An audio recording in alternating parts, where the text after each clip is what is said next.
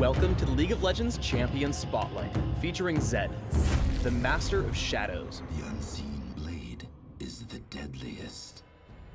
Zed is a melee assassin. He relies on sending out living shadows that mimic his basic abilities, allow him to reposition mid-fight, and quickly strike down his foes. When expertly played, Zed can kill his opponents before they even know it hit them. Zed's passive is Contempt for the Weak. Zed's basic attacks against heavily injured targets will deal bonus damage based upon their maximum health.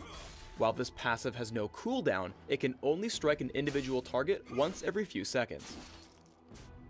Razor Shuriken fires out from Zed and any of his shadows, damaging every enemy they pass through, but dealing reduced damage to enemies beyond the first. Enemies can be hit by multiple Razor Shurikens and will take damage from each one, but the extra hits won't deal as much damage as the first. When laning, I recommend taking Razor Shuriken at level 1 and maxing it first for consistent range damage output. If jungling, grab it at level 2 and max it by level 13. Living Shadow remains in place for a few seconds, mimicking all of Zed's abilities. Hitting an opponent with both a regular and mimicked ability will refund some energy back to Zed. Zed may also reactivate Living Shadow to swap places with it. Additionally, Living Shadow passively grants Zed bonus attack damage.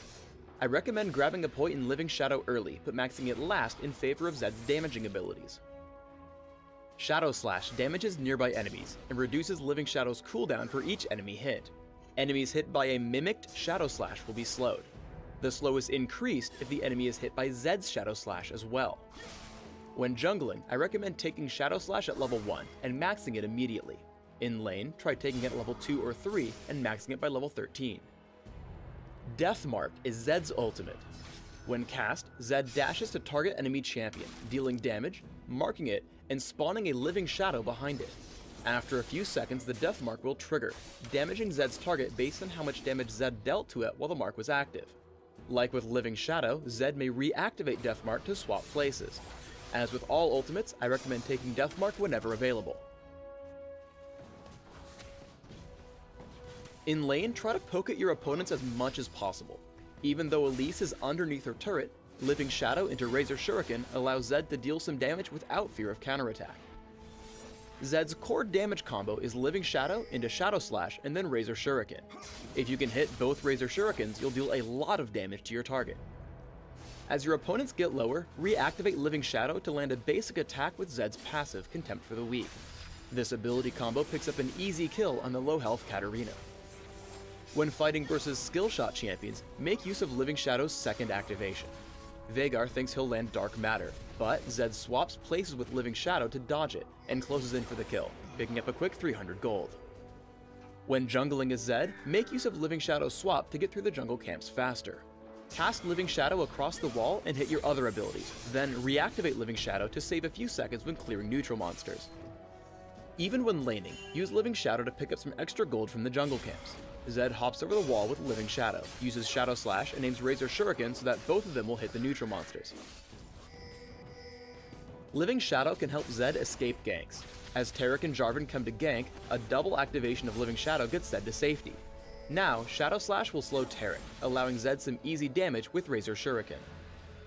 Living Shadow can also be used to close the distance with Zed's opponents. A double activation puts Zed in range for Death Mark.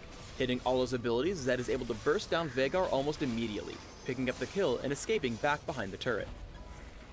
Always keep track of your Living Shadow's locations. Zed comes across and bursts down the opposing Master of Shadows almost immediately. However, Katarina comes in to avenge her teammate. Zed simply waits for Shunpo and then swaps places with Living Shadow. Even with Flash, Katarina is unable to catch up and take Zed down. Let's put all of these together in a larger fight. Zed sends out Living Shadow with an immediate Shadow Slash to slow the opponents chasing Lee Sin. However, Zed notices Ashe low on health near his Living Shadow. Zed swaps and hits Ashe with Deathmark, taking her down with ease before walking away unscathed. I recommend building Zed primarily for physical damage output, with a small emphasis on durability due to his short-range nature. Here's an example build.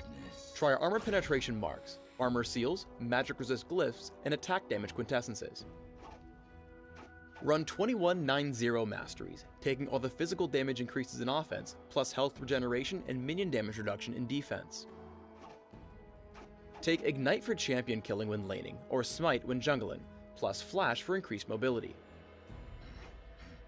Open with Boots of Speed, Health Potions, and a Doran's Blade or Prospector's Blade.